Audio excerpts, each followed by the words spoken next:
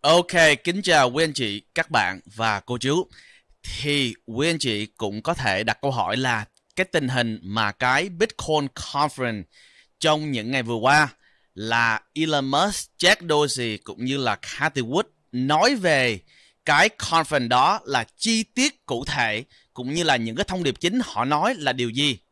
Và cái quan trọng hơn nữa đó là đối với Jimmy, cảm nhận của Jimmy như thế nào và quan điểm của Jimmy ra sao về cái conference đó liên quan tới Dogecoin và Bitcoin như thế nào và cái tương lai của Bitcoin và Dogecoin như thế nào trong tương lai sau khi nghe Cathy Wood cũng như là Jack Dorsey và Elon Musk nói về cái sự kiện này. Thì cái video này Jimmy sẽ nhấn mạnh một vài điều là Elon Musk nói điều gì, Jack Dorsey nói những điều gì và Cathy Wood nói những điều gì và sau đó Jimmy sẽ chia sẻ cái quan điểm của Jimmy cho quý anh chị. Thì bây giờ mình vào luôn cái phần của anh Elon Musk. Thì đối với anh Elon Musk trong cái sự kiện của Bitcoin Conference đó thì anh Elon Musk có nói một cái điều này à, khá quan trọng đó là anh Elon Musk là ảnh hiện tại ngay bây giờ là Tesla và công ty SpaceX là hai công ty mà anh Elon Musk ảnh mua cổ phiếu và ảnh ôn những cái stock rất là nhiều và tất cả những cái well và cái um, cái assets của anh Elon Musk đó là nằm trong Tesla cũng như là SpaceX và anh Elon Musk ảnh nói đó là công ty Tesla và công ty SpaceX own Bitcoin là có mua Bitcoin. Thì quý anh chị cũng thấy đó là trước đây đó là Tesla mua Bitcoin gần như là 1.5 tỷ đô la. Đó. Và Tesla ủng hộ Bitcoin và công ty SpaceX chưa bao giờ nói là mua và ủng hộ Bitcoin. Nhưng mà ngày hôm đó anh có nói là SpaceX ủng hộ và mua Bitcoin nha. Đó là điều đầu tiên. Cái điều số 2 đó là sau khi anh nói công ty Tesla và SpaceX own Bitcoin đó, thì anh nói là bản thân của anh đây là anh own Bitcoin là anh có mua Bitcoin và anh có mua luôn Ethereum và anh luôn và có luôn mua Dogecoin. Thì quý anh chị thấy đó là đây là cái lần đầu tiên mà ảnh trên mạng xã hội và đặc biệt là trong conference này ảnh nói là ảnh own Ethereum và Dogecoin. Wow! Thì cái chìa khóa ở đây chị mình muốn nói tới đó là cái phần Bitcoin mình không muốn nói tới nữa. Tại vì á là Elon Musk đã own Bitcoin rồi. Nhưng mà cái điều mà chị mình muốn nói tới ở đây đó, đó là cái phần của uh, Ethereum thì ảnh cũng đã own Ethereum rồi. Nhưng mà ảnh own Dogecoin. Wow. Thì quý anh chị thấy đó, thứ nhất là có nhiều người nói đó là anh Elon Musk, anh có thể nói về Dogecoin không? Thì chuyên mày đã nói từ trước đây cho đến giờ là anh Elon Musk không có một cái lý do gì một cái người mà họ chuyên môn nói và ủng hộ về Dogecoin mà họ không có sở hữu cũng như là own Dogecoin. Nó không có make sense. Cho nên ngày hôm nay ảnh chính tai của mình đã nghe và ảnh cũng đã chính miệng nói là ảnh own Dogecoin. Thì câu hỏi đặt ra là hiện tại anh Elon Musk là ảnh ôn bao nhiêu Dogecoin, là ảnh giống như là giữ chữ đó, là bao nhiêu Dogecoin. Thì quý anh chị thấy, ví dụ một cái con cá nhỏ như là chim này thôi, cũng đã ôn giống giống như là cũng là ôn một số lượng khá nhiều, million and million của Dogecoin rồi thì không thể một cái người như là anh Elon Musk có trong tay bạc tỷ đô la mà có thể ôn một số lượng như là vài chục ngàn hay là vài trăm ngàn, ảnh phải ôn vài triệu hay là vài chục triệu. Theo chị Mỹ à, nghĩ là anh phải ôn at least vài chục triệu cho đến cả trăm triệu tiền US US dollar đó của Dogecoin.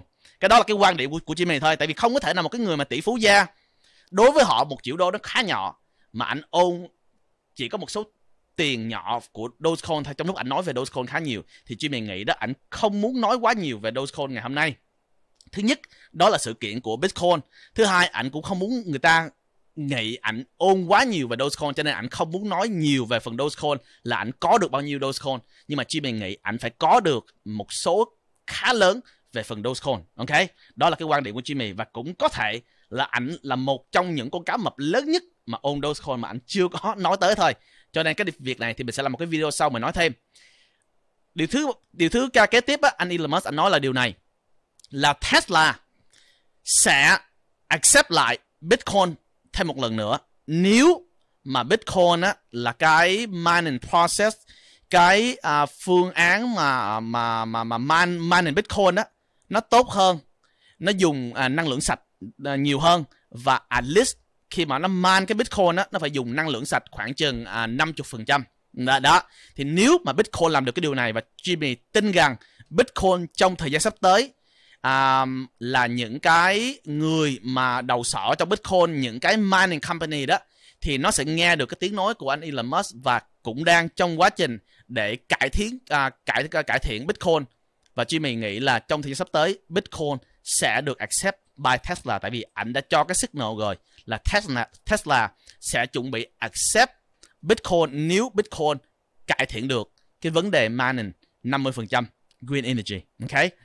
Kế tiếp anh Elon Musk ảnh cũng nói rất là rõ là ảnh và Tesla sẽ mở lòng và sẽ support và giúp cho Bitcoin và cái quá trình mining Bitcoin đó nó được tốt hơn, nó được cải thiện hơn và nó được sustainable là nó được duy trì một cách rất là tốt. Có thể là dùng bằng năng lượng solar hay là dùng bằng những cái technology, những cái hệ thống của Tesla hiện tại ngay bây giờ dùng. Đó. Đó là những cái điều mà anh Elon Musk ảnh mở ra, ảnh mở lòng ra, ảnh chia sẻ để hỗ trợ cho cái phần uh, Bitcoin. Thì quý anh chị thấy đó, trong thời gian vừa qua có rất là nhiều người hiểu lầm anh Elon Musk. Và cái chuyện này đó, Jimmy cảm nhận được tại vì Jimmy đôi khi mình làm những cái việc tốt mình cũng bị người ta hiểu lầm khá nhiều và Jimmy chỉ là một con cá nhỏ thôi mà đây bị hiểu lầm tới như vậy rồi huống chi anh Elon Musk là một cái người có tiếng tâm có sức mạnh mà mình càng có tiếng tâm càng có sức mạnh thì mình càng bị dễ bị hiểu lầm và quý anh chị thấy đó ảnh cố tình đứng ra trên cái Twitter để nói những sự thật về Bitcoin là cái mining process của nó nó không có được tốt và nó phải cần có cái sự cải thiện à, à, cải thiện. Nó cần phải cần có cái sự thay đổi mà ảnh dám đứng ra ảnh nói được cái điều này. Trong lúc ảnh biết được khi mà ảnh nói điều này đó là có rất là nhiều người ghét ảnh không thích về ảnh tạm thời. Nhưng mà ảnh phải cần phải nói tại vì cái đó là cái mission của ảnh. Cái nhiệm vụ của ảnh cho công ty Tesla là muốn công ty nó sustainable công ty nó được green và công ty đó hướng tới tương lai một cách tốt. Nhưng mà anh thấy được, Bitcoin không có cái điều này là anh phải điều chỉnh ngay lập tức. Cho nên một cái điều mà quý chị thấy được đó, anh Elon Musk, ảnh làm công ty và ảnh giúp cho người, đó là bằng cái tâm và bằng cái niềm đam mê. Đó, và ảnh muốn hướng tới một tương lai rất là tốt. Cho nên ảnh cố tình làm những cái điều đó. Cho nên á quên chị thấy về cái việc mà gọi là pump and dump đó là đưa giá lên xong mới quăng bỏ đó, cái việc đó không thể nào xảy ra. Với những cái người có tầm nhìn và những cái người mà biết đầu tư thì không thể nào anh Elon Musk làm cái điều này được. Thứ nhất, quý chị thấy, điển hình cụ thể là ảnh không bán ga Bitcoin, ảnh không bán ga Doge và ảnh không bán ga Ethereum. Ảnh nói là ảnh giữ tất cả những cái phần đó. Đó. Và trong thời gian vừa qua quên chị thấy đó, là thực sự Tesla không bán ra cái phần Bitcoin nó chỉ bán một phần nhỏ là vì những cái lý do cá nhân của họ như thế nào nhưng mà cái số lượng to lớn đó họ vẫn giữ lại cho cái phần Bitcoin. Và thậm chí anh Elon Musk bản thân của anh không hề bán ra cái phần Ethereum cũng như là Dogecoin. Cho nên đó không phải là cái phần nó, nó gọi là pump and dump. Đối với Jimmy cũng vậy. Jimmy có nói một cái câu là Jimmy không bao giờ bán ra Dogecoin mà nói hoài cũng không ai tin hết. Thì anh Elon Musk Jimmy cảm nhận được cái, cái điều ảnh muốn truyền tải nhưng mà người ta là hiểu lầm ảnh. Nó giống như ngày hôm nay chị mình nói là chị mình không bán Dogecoin nhưng mà đâu ai tin đâu. Nhưng mà trên thực tế thực sự chị mình không bán Dogecoin mình mua vào Dogecoin càng nhiều thêm. Và chị mình giữ đó thì chị mình hiểu được anh Elon Musk ảnh đang bị người ta hiểu lầm khá nhiều. Và overall chị mình muốn nói tới như, như thế này. Anh Elon Musk đó ảnh mở lòng ra ảnh nói thêm nữa là ngoài vấn đề Tesla hỗ trợ Bitcoin thì trong tương lai ảnh muốn dùng công ty Starlink nếu cần thiết để phát triển Bitcoin phát triển cái thế um, thế giới của crypto uh, như là Dogecoin hoặc là Bitcoin và những cái coin khác nếu cần thiết để phát triển crypto và kết nối cryptocurrency trên cái mạng lưới của Starlink để giúp cho nó nhanh hơn tốt hơn, ghẹ hơn. Đó. Và giúp cho cryptocurrency hướng tới một tương lai tuyệt vời hơn. Đó. Đó là những cái điều mà anh Elon Musk anh mở lòng ra anh làm điều này. Thì cái điều này nó khá rõ ràng như như là ban ban, ngày. Đó là ảnh rất là support về phần Bitcoin và ảnh muốn Bitcoin hướng tới một cái tương lai thật là tốt đẹp. Cho nên quý anh chị thấy đó là uh, overall là nói tóm lại về cái phần của anh Elon Musk đó, là Jimmy muốn nói điều này anh Elon Musk là một cái supporter rất là lớn cho Bitcoin, Ethereum và đặc biệt là Dogecoin. Tại vì anh tại sao anh nói là anh thích cái concept về cryptocurrency tại vì nó hướng tới tương lai à, chuyển tiền cũng dễ. Đó.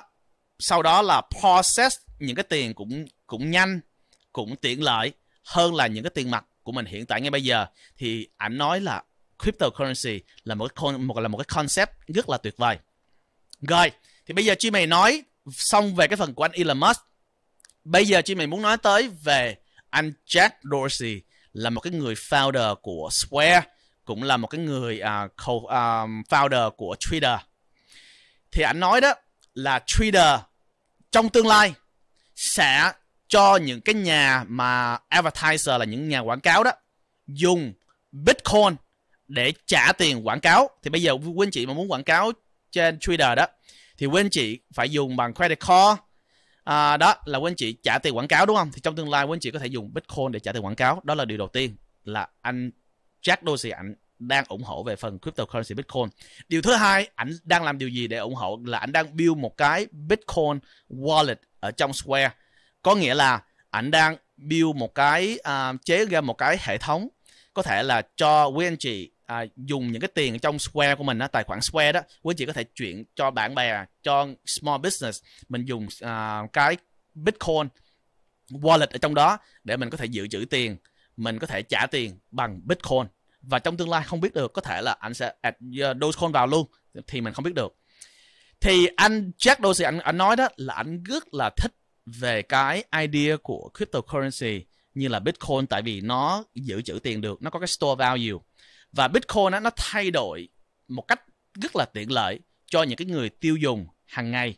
Và thực sự anh nói câu này nè là anh rất là ước gì cái cryptocurrency đó là cái blockchain technology đó như là Bitcoin nó có cách đây khoảng chừng 10 cho đến 15 năm trước tại vì nếu mà có như vậy đó thì anh đã lấy cái ý tưởng đó về cách trả tiền như thế nào và cách vận dụng Bitcoin ra sao để bỏ cái technology đó vào trong công ty Square cũng như là công ty um, Twitter thì nó sẽ phát triển một cách tuyệt vời hơn, một cách sáng tạo hơn. Thì khi mà anh nói điều này đó thì anh đã thấy được cái tầm nhìn của blockchain technology của cryptocurrency rất là nhiều đó một cái nhà gọi là visionary như là Elon Musk như là Jack Dorsey thấy được cryptocurrency như thế nào. Thì bây giờ overall chị mình muốn nói tới đó là anh Jack Dorsey là ảnh là một cái nhà đầu tư cũng như là một cái nhà supporter cho Bitcoin rất là nhiều. Và ảnh uh, definitely à, là ảnh giống hay là ảnh đang embrace là ảnh đang um, khuyến khích cũng như là ảnh đang hỗ trợ và giúp cho Bitcoin hướng tới tương lai. Và chắc chắn ảnh đang integrate ảnh sẽ bỏ cái bitcoin vào trong um, công ty uh, trader để cho những cái nhà mà quảng cáo. Quên chỉ biết đó người ta, người ta quảng cáo cho trader rất là nhiều. Rồi, ví dụ như là Jimmy có thể quảng cáo trên trên trader để run ad và rất là nhiều nhiều nhà quảng cáo thì bây giờ bỏ bitcoin vào. Trong tương lai nếu ảnh bỏ dogecoin vào luôn thì mỗi năm họ spend billion of billion uh, of dollar để quảng cáo. Thì bây giờ Square cũng như vậy mình bỏ Bitcoin vào, bỏ Dogecoin vào thì quý anh chị nghĩ tương lai của nó sẽ như thế nào. Nhưng mà Jimmy nghĩ đó là trong tương lai không sớm không muộn gì ngoài Bitcoin ra thì anh cũng sẽ bỏ Dogecoin vào trong Twitter cũng như là trong Square. Nhà quý anh chị, đó là cái quan điểm của của Jimmy. Kế tiếp đó, Jimmy sẽ nói về bà Cathy Wood. Cathy Wood là founder của All Invest.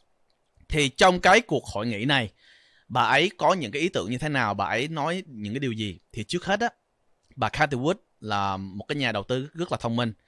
À, bà rất là thích về cái idea của Bitcoin. Tại sao? Tại bà nói là idea Bitcoin rất là tiện lợi cryptocurrency.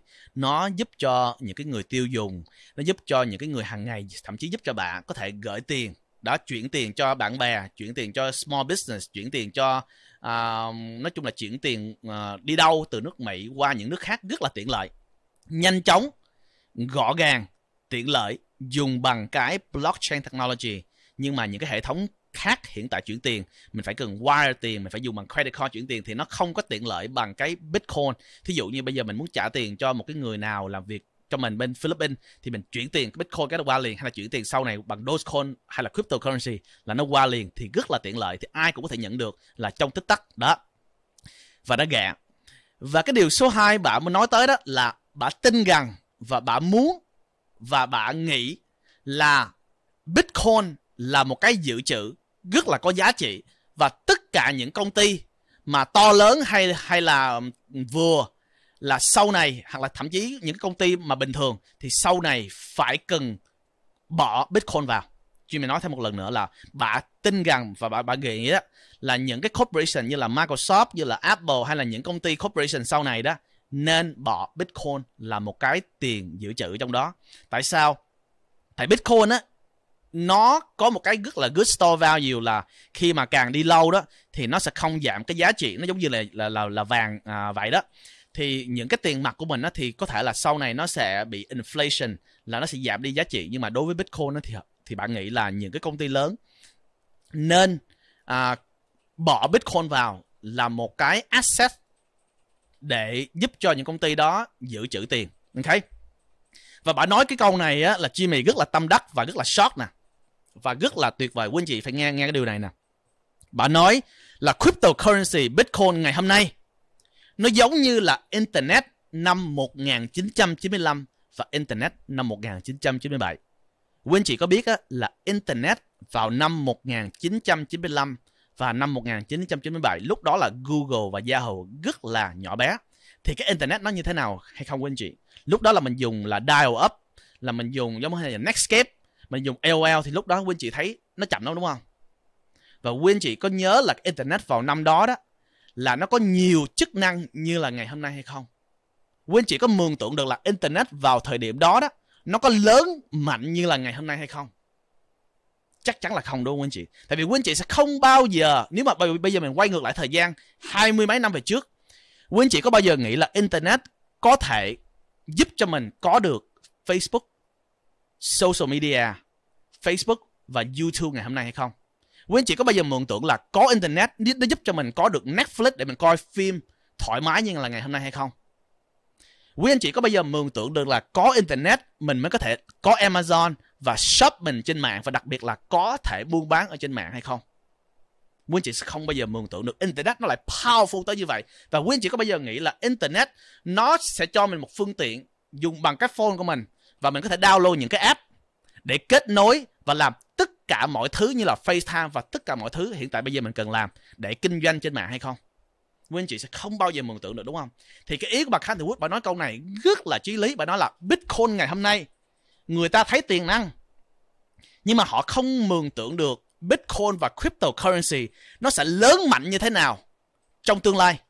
Nhưng mà bà thấy được, thì bạn vừa mường tượng là hiện tại bây giờ Bitcoin và cryptocurrency nó đang rất là nhỏ bé. Họ thấy được tiềm năng nhưng mà họ không mường tượng được cái kinh khủng của nó. Thì nó vẫn còn mới y chang là năm 1995 và 1997 thì Jimmy có nói tới là nếu mà Bitcoin hiện tại ngay bây giờ còn rất là nhỏ bé và chưa người biết tới y chang là internet hồi xưa thì quý anh chị mường tượng, Dogecoin thì nó như thế nào thì theo chị mình nghĩ là Dogecoin nó còn gọi là mini mini, small compare to Bitcoin là nó còn càng nhỏ bé hơn là Bitcoin thì có nghĩa là tiềm năng của nó còn càng nhiều hơn là Bitcoin nữa. Đó. Cho nên á, quý anh chị thấy tại sao á mà chị mình hay nói là cryptocurrency là rất là tiềm năng và tiềm năng kinh khủng. Tại vì hiện tại ngay bây giờ người ta thấy được cái cơ hội đầu tư về cryptocurrency nhưng mà họ rất là lo sợ. Họ không biết thật sự là cái cryptocurrency này nó có hướng tới tương lai hay không. Họ không biết là cái này nó có ở lại hay không và hay là nó chỉ là ảo và tan biến trong tương lai. Nó giống như là internet hồi xưa vậy đó. Họ biết tới internet nhưng mà họ không biết là ồ internet là cái gì? Là họ chỉ biết là AOL hay là dial up thôi. Nhưng mà họ không biết là internet nó có thể lớn mạnh làm nhiều chức năng như là FaceTime mua bán trên mạng xong rồi um, xong rồi lên Zoom call xong rồi xong rồi làm nhiều thứ như là bây giờ. Thì trong tương lai bà Catherwood bà nói đó là cái cryptocurrency này nó có rất là nhiều chức năng có thể làm rất là nhiều thứ mà có thể giúp thay đổi thế giới giúp kết nối nhiều người và biến thành tiền tệ và thậm thậm chí có thể store value. Và Jimmy cái này là Jimmy bổ sung thêm luôn theo ý, ý của Jimmy đó là cryptocurrency như là Dogecoin. Nó sẽ thay đổi tiền tệ và nó có thể dùng để xài tiền hàng ngày. Đó, và nó có thể thay đổi luôn cái phần credit card. Đó, và nó có thể dùng để kết nối nhiều thứ trên toàn quốc gia trên thế giới là rất là tiện lợi và nhiều thứ khác mình không thể nào imagine được. Tại vì khi mà cryptocurrency nó phát triển đó, quý anh chị, thì sẽ có nhiều cái startup nó sẽ innovate. Thí dụ như hồi xưa đó, nó sẽ không có những cái app như ngay bây giờ, đúng không? Tại hồi xưa đó là nếu Steve Jobs không chế ra cái iPhone thì làm sao mình có app? Mà nếu mà mình không có app thì làm sao hiện tại bây giờ mình có ví dụ như là Zoom Call? Đó.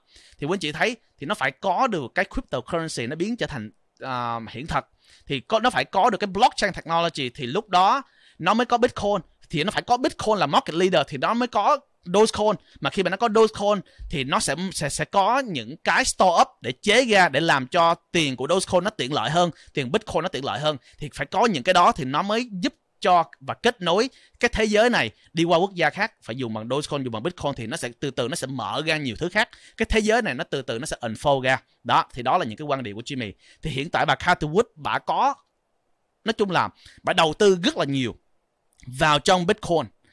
Mới tuần trước thôi là bà đã đầu tư gần như là 10 triệu đô la, hơn 10 triệu đô la vào trong Bitcoin.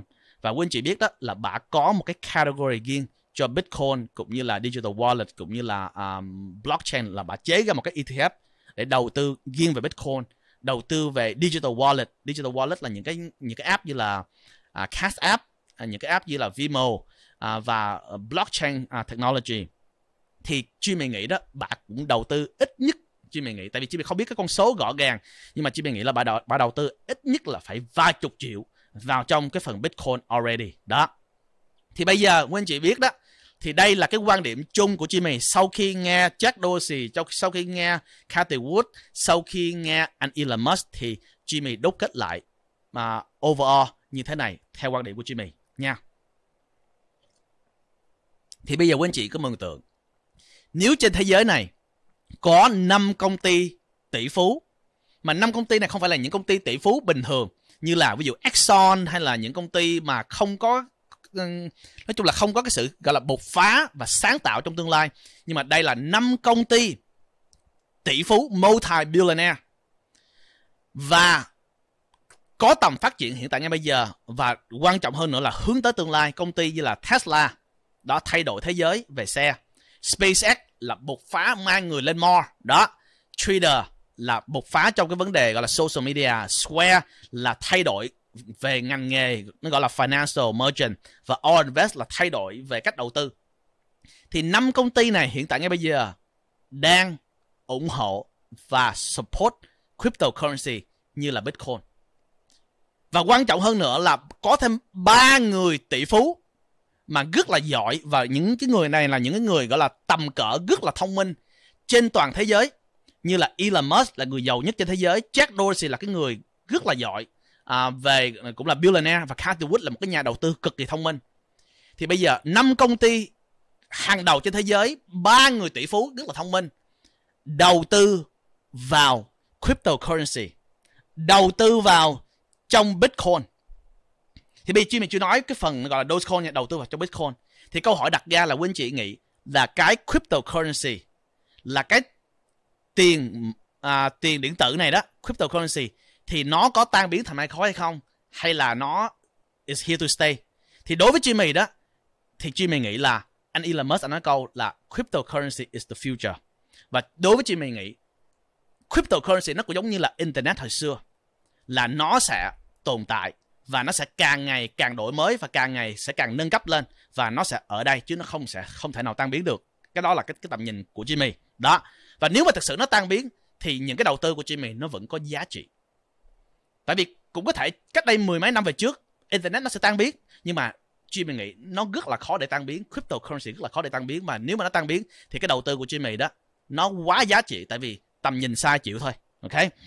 Và Jimmy nghĩ nếu mà nó ở lại và nó càng phát triển, thì không có lý do gì cryptocurrency mình đầu tư vào Bitcoin cũng như là Dogecoin nó không thể nào 10x được. Là nó sẽ 10x và nhiều hơn. Tại vì nó đang trong cái tầm phát triển nó còn quá nhỏ bé và chưa có phát triển quy mô ra cho nên Jimmy nghĩ là vẫn có thể 10x và thậm chí nhiều hơn 10x trong tương lai.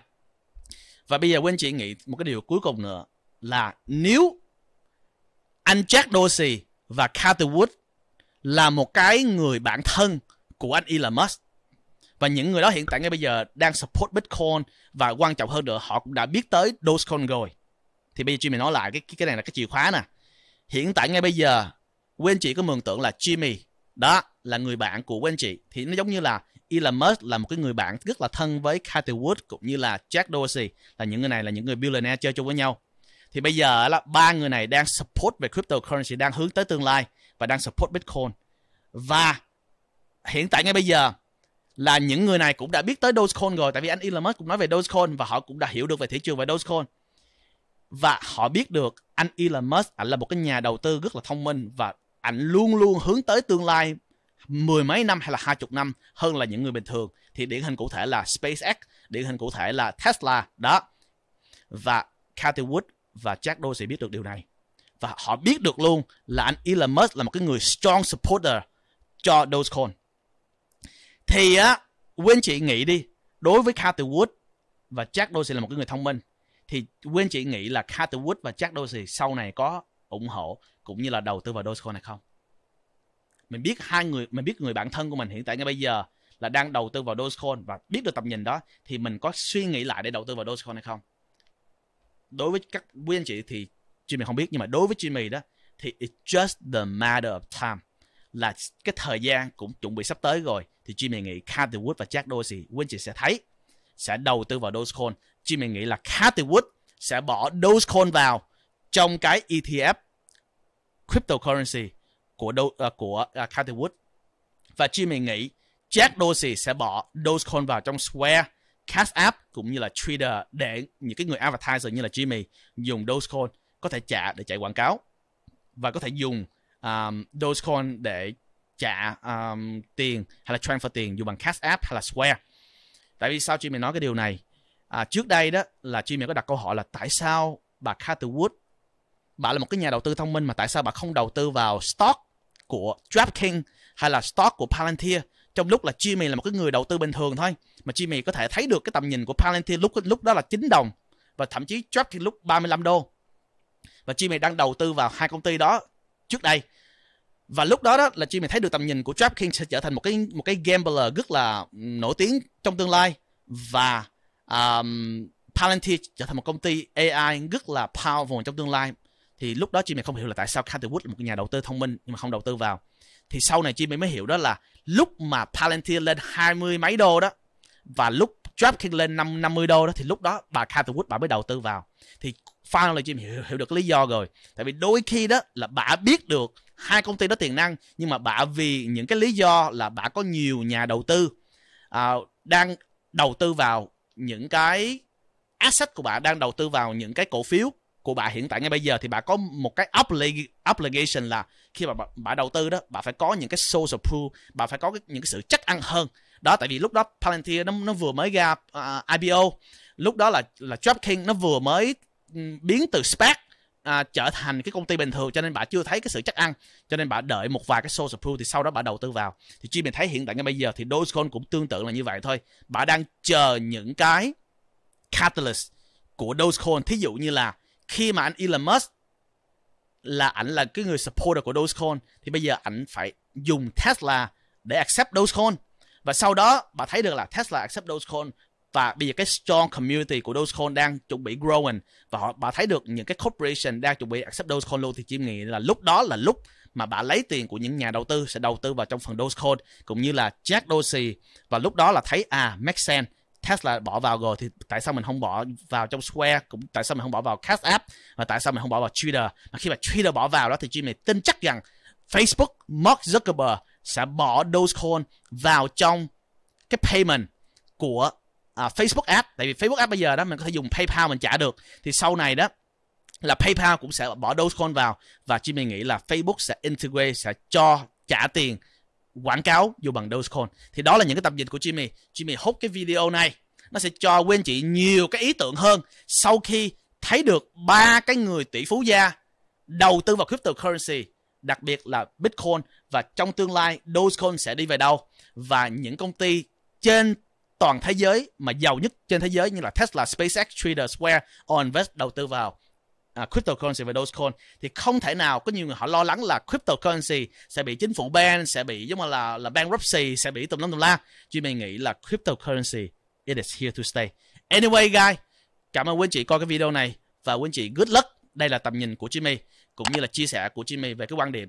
Thì good luck quý anh chị và quý anh chị hãy nhớ đầu tư thông minh.